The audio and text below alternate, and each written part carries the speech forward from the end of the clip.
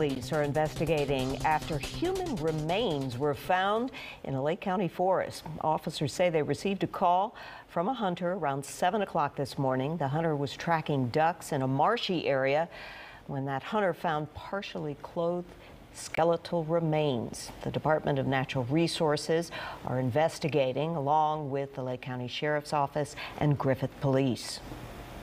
Right now, we are continuing to search for uh, additional uh, remains or articles of clothing, anything that may be associated with, with that finding. And investigators are still working to determine that person's identity. Chicago